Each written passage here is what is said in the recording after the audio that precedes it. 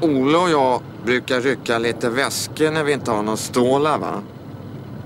Men vi har lagt av med det för att det har dykt upp en härdigare typ av kärring alltså. Hjälp, hjälp, hjälp! Min moped!